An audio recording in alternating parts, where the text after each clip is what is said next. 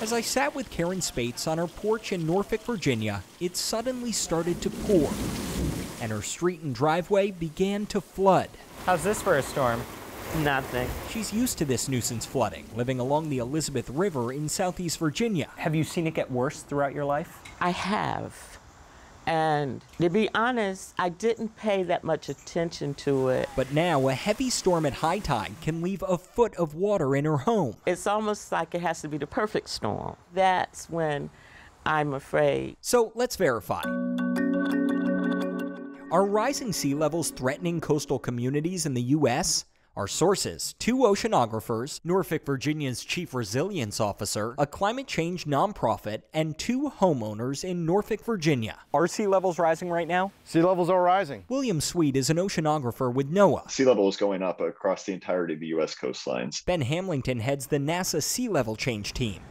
Both agencies monitor sea levels using tide gauges, a century old technology, as well as satellites. Their data show the sea level along parts of the east and Gulf Coast is rising an inch every five to seven years. What's causing this? Two part ice melt, one part thermal expansions. Global warming is melting glaciers and sea ice, adding water to the ocean and the ocean is absorbing excess heat from greenhouse gases in the atmosphere, causing it to expand. And on top of that, the land in some coastal areas is slowly sinking. Flooding that used to not occur now is occurring on sunny days. And with the warming climate, sea level rise is expected to accelerate and cause 5 to 15 times more flooding in some areas by 2050. When you have that larger sea level, the impacts of a storm is certainly going to be that much worse in the future. 40% of the U.S. population lives in coastal counties, and a 2019 study found sea level rise could displace 13 million Americans by 2100. Unless we do something about it.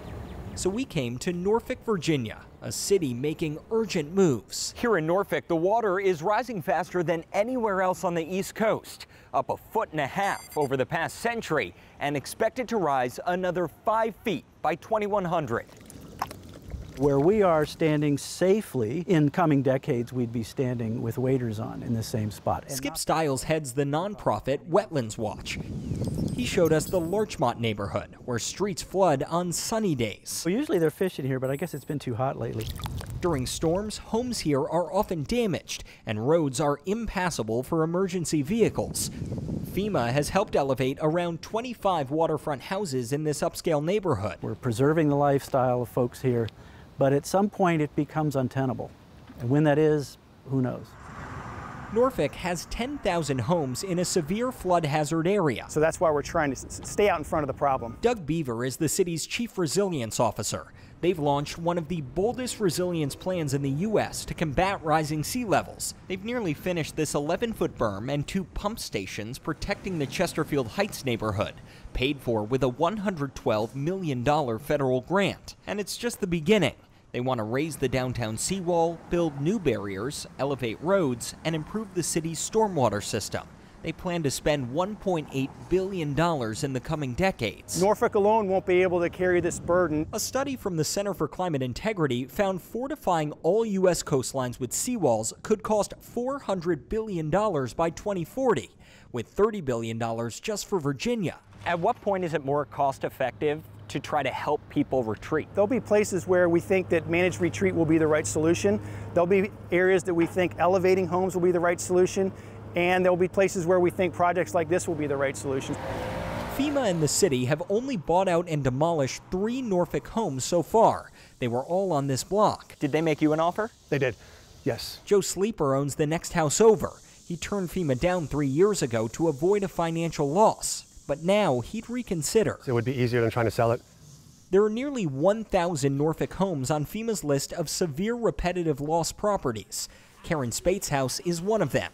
She grew up here and now lives with her 93 year old mother. They've suffered three severe floods. She now pays $400 a month in flood insurance.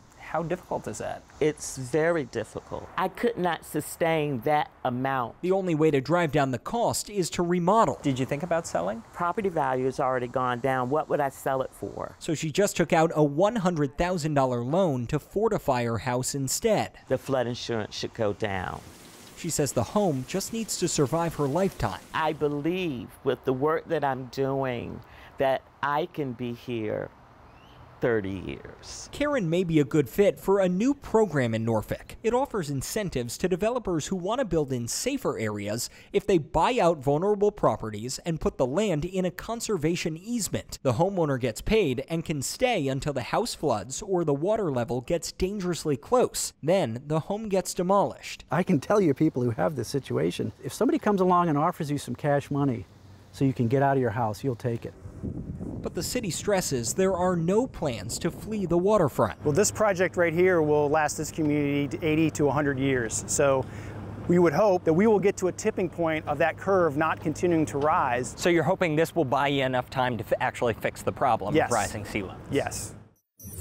So we can verify rising sea levels are threatening millions of Americans in coastal areas, and some cities will need to spend billions of dollars in the coming years to protect their communities. I can't run from this. I have to do something.